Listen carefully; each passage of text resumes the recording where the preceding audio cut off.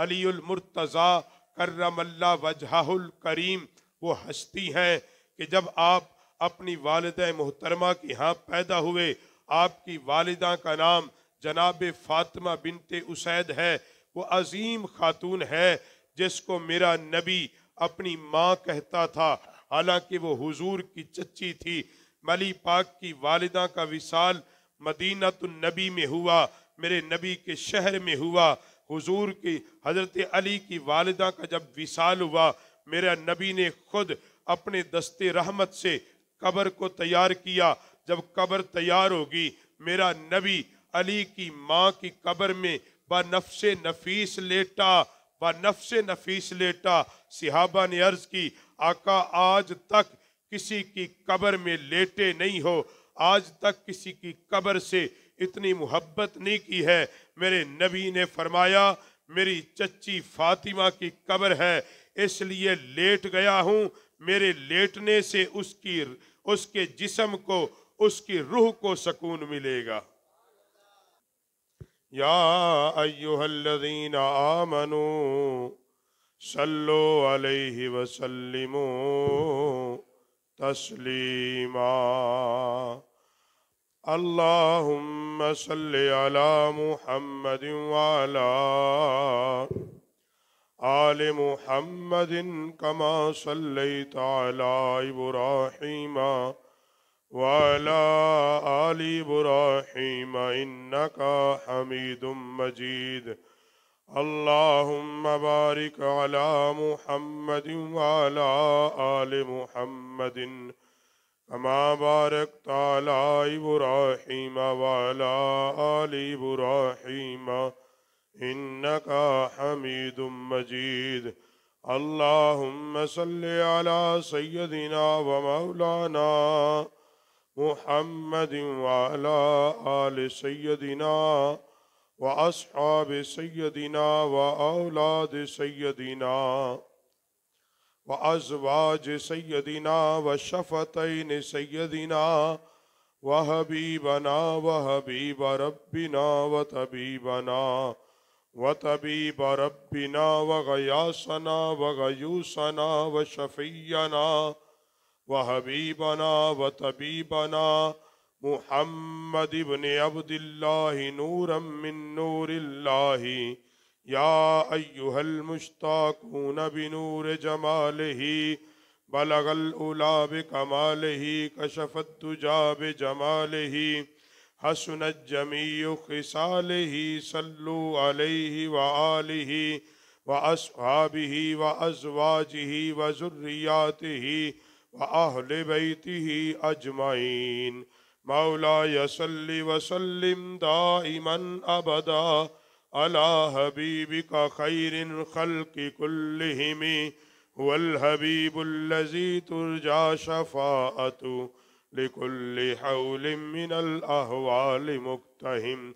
مولاي صل وسلم دائما أبدا على حبيبك خير الخلق كلهم.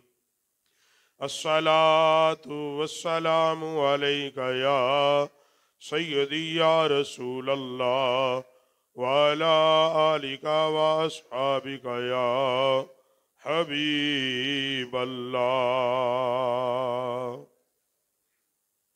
سب سے اعلیٰ ہو اعلیٰ ہمارا نبی سب سے بالا ہو اعلیٰ ہمارا نبی۔ خلق سے اولیاء اولیاء سے رسول اور سب رسولوں سے اعلیٰ ہمارا نبی۔ کرن و بدلی رسولوں کی ہوتی رہی۔ کرن و بدلی رسولوں کی ہوتی رہی۔ چاند بن کے نکلا ہمارا نبی۔ سب سے اعلیٰ ہو اولا ہمارا نبی۔ سب سے بالا ہو اعلیٰ ہمارا نبی۔ چمک تجھ سے پاتے ہیں سب پانے والے۔ چمک تجھ سے پاتے ہیں سب پانے والے۔ میرا دل بھی چمکا دے، چمکانے والے۔ تو زندہ ہے واللہ، تو زندہ ہے واللہ۔ میری چشم عالم سے چھپ جانے والے۔ تو زندہ ہے واللہ، تو زندہ ہے واللہ۔ میری چشمی عالم سے چھپ جانے والے، تیرا کھائیں، تیرے غلاموں سے الجھیں، یہ عجب ہے کھانے غرانے والے۔ تیرا کھائیں، تیرے غلاموں سے الجھیں، یہ عجب ہے کھانے غرانے والے۔ سب سے اعلیٰ ہو اعلیٰ ہمارا نبی۔ سب سے بالا ہو اعلیٰ ہمارا نبی۔ بعد از حمد و سلات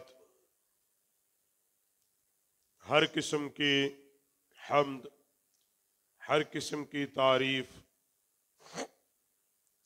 اس خالق کائنات، جو ساری کائنات کا حقیقی خالق، مالک، رازق، رعوف الرحیم، درود و سلام، آمینہ کے لال، بے کسوں کے کساں بے چاروں کے چارہ گر نبی غیب دان نبی، رازدار نبی، اللہ کے حبیب نبی، کائنات کے سردار نبی، تیرے اور میرے پیارے لجپال، عظیم، کریم، رحیم، رعوف نبی، جناب محمد الرسول اللہ صلی اللہ علیہ وسلم کی پاک بارگاہ میں حدیہ درود و سلام اور سلام ہو ان عظیم ہستیوں پر۔ جن کی محنت، کوشش تقدو ان اصحاب رسول، آل رسول، ان کی عظیم بارگاہوں میں کہ جن کی شب و روز کوشش سے، محنت سے دین اسلام دنیا کے کونے کونے میں پہنچا۔ احباب کار، ماہ رمضان المبارک کی یاد اور بالخصوص اکیس رمضان المبارک مولا کائنات داماد رسول، سرتاج بطول، حسن و حسین کے باپ، امام الاولیاء، جناب امیر المومنین خلیفت المسلمین، مولا کائنات، علی المرتضی، کرم اللہ وجہ الکریم۔ آپ کی شہادت کا دن ہے۔ احباب وقار، اللہ نے قرآن مقدس میں مولا کائنات کی عظمت اور شان کو بیان کیا اور اس انداز میں بیان کیا کہ جس وقت نجران کے حسائیوں نے یہ بات کہی کہ ہم سچے ہیں ناؤز باللہ من ذالک، محمد جھوٹا ہے، اور اس وقت جب پھر اللہ نے فرمایا، پیارے حبیب، ان سے مناظرہ نہیں کرنا، ان کو دلیل نہیں دینی ان سے مبالہ کیا جائے گا اور ان کو یہ بات کہہ دو، فمن ہا جکا فی ہی ممبادی ما جا اکا من العلمی اے محبوب، جو تم سے عیسیٰ علیہ السلام کے بارے میں جھگڑتے ہیں، جو یہ کہتے ہیں، عیسیٰ بن مریم خدا کا بیٹا ہے، جو یہ کہتے ہیں کہ عیسیٰ تجھ سے افضل ہے۔ اے پیارے حبیب ان کو کہہ دے کہ ہم حجت کے طور پر من العلمی فقل تعالو، جب تمہارے پاس علم آ چکا ہے، پھر تم عیسیٰ بن مریم کے بارے میں کیوں حجت پیش کرتے ہو؟ تو فرمایا، ان کو کہہ دو، فقل تعالو، ندعو ابنا انا و ابنا اکم و نسا انا و نسا اکم و انفسنا و انفسکم ان کو کہہ دو، تم بھی اپنے بیٹے لے آؤ، میں بھی اپنے بیٹے لے کے آتا ہوں۔ تم بھی آ جاؤ، میں بھی آ جاتا ہوں۔ تم بھی اپنی عورتیں لے آؤ، میں بھی اپنی عورتیں لے کے آتا ہوں۔ پھر ہم مل کے کیا کریں گے؟ سم نب تہل فنج اللہ اللہ القاضبین پھر ہم مبالہ کریں گے، اللہ کی بارگاہ میں دعا کریں گے۔ اور جھوٹوں پر اللہ کی لانت ہوگی۔ اب اس وقت نبی کریم علیہ السلاۃ السلام جن ہستیوں کو ساتھ لے کے چلے، ان میں سب سے پہلے میرا کریم نبی تھا۔ امام الانبیاء صلی اللہ علیہ وسلم کی ذات اقدس تھی۔ پھر میرے نبی نے اپنے ساتھ لیا۔ وہ انفسنا و انفسکم ہم اپنی جانیں لاتے ہیں۔ تم اپنی جان لے کے آؤ۔ میرے نبی علی سلاۃ السلام پھر لے کے آئے تو مولا کائنات کو اپنے ساتھ لے کے آئے۔ قرآن یہ کہتا ہے کہ مولا کائنات کو اللہ نے نبی کی جان بنایا ہے۔ نبی کی جان مولا کائنات ہیں۔ اور پھر میرا نبی علیہ السلام سیدہ خاتون جنت کو لیا، حسنین کریمین کو لیا۔ جب اتنے مبارک چہرے اکٹھے ہوئے، ہاتھ ابھی بلند نہیں کیے، عیسائیوں نے یہ بات کہی۔ ان کے ہاتھ بلند ہونے سے پہلے ہار مان جاؤ۔ اگر انہوں نے دعا مانگ دی، ان کی دعا اتنی اعلیٰ ہوگی، کائنات سے حسائیت ختم ہو جائے گی، وہ دعا رد نہیں ہوگی۔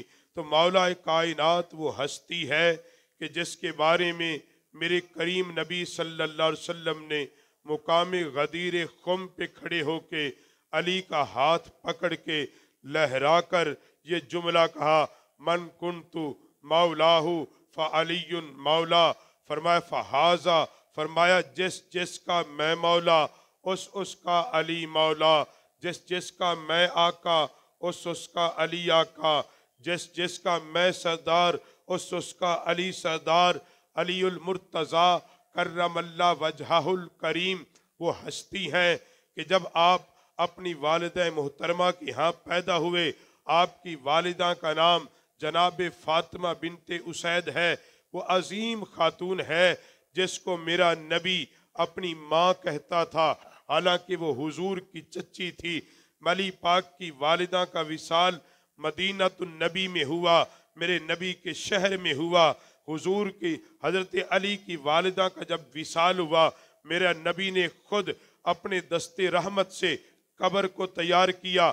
جب قبر تیار ہوگی، میرا نبی علی کی ماں کی قبر میں با نفس نفیس لیٹا، با نفس نفیس لیٹا۔ صحابہ نے عرض کی، آقا، آج تک کسی کی قبر میں لیٹے نہیں ہو۔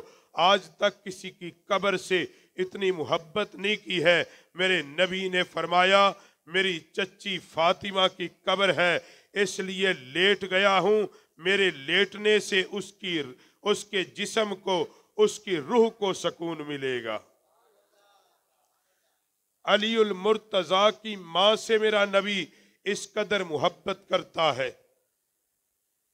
اور حضرت مولا کائنات کی ماں وہ ماں ہے جس نے میرے نبی کا کلمہ پڑھا ہے، میرے نبی پر ایمان لے کے آئی ہیں۔ ان کا وشال ہوتا ہے، میرے نبی نے اپنا کمیز اتار کے دیا۔ فرمایا، جب کفن دے دو، میری ماں یعنی چچی کو یہ کمیز پہنا دینا عرض کی آقا کیوں؟ فرمایا، یہ کمیز اس کے لیے نفع بخش بن جائے گی۔ پتہ یہ چلتا ہے کہ اللہ کے نبی کے جسم پہ لگا ہوا کپڑا بھی مرنے والوں کو فائدہ دیتا ہے۔ نبی کے جسم پر لگی ہوئی چیزیں بھی وہ دوسرے کو نفع بخش ہو جاتی ہیں۔ اگر ایک کرتا، ایک مرنے والے کو نفع دے سکتا ہے تو ذات محمد کیوں نہیں نفع دے سکتی؟ اور پھر کیا ہے؟ یہ اللہ کی قدرت کا رنگ دیکھو۔ ادھر حضرت حضرت عمران المعروف ابو طالب، کیونکہ حضرت حضرت علی پاک کے والد کا اصل نام جناب عمران تھا، اسی لیے حضرت علی پاک اور آپ کے بھائیوں کو آل عمران بھی کہا جاتا ہے کہ یہ آل عمران ہے۔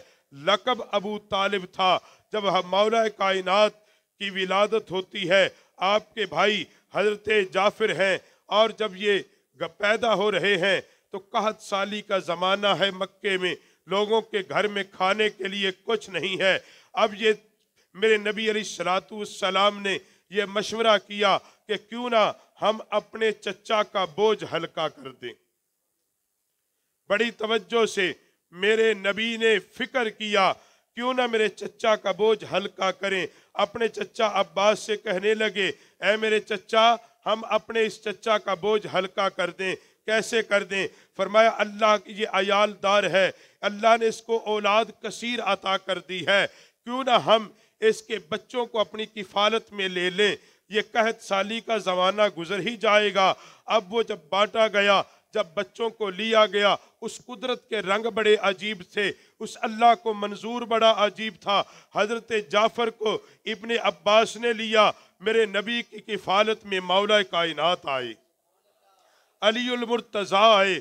میرا نبی میرا نبی کے گھر میں کون تربیت پا رہا ہے؟ کون بڑا ہو رہا ہے؟ علی المرتضی بڑے ہو رہے ہیں۔ میرے نبی کن پہ شفقت کرتے ہیں مولا کائنات پہ شفقت کرتے ہیں۔ بعض علماء نے لکھا ہے، علی نے ایمان کا اظہار نو سال میں کیا ہے، مگر یہ نہیں کہ علی پہلے نبی کو مانتا نہیں تھا۔ علی تو جب پیدا ہوا، جب آنکھ کھولی، چہرہ نبی دیکھ کے کہا تھا، میرے کریم، جب تک خون کا آخری قطرہ اس جسم میں رہے گا، میں محمد تیرے دین پہ قربان ہوتا رہوں گا۔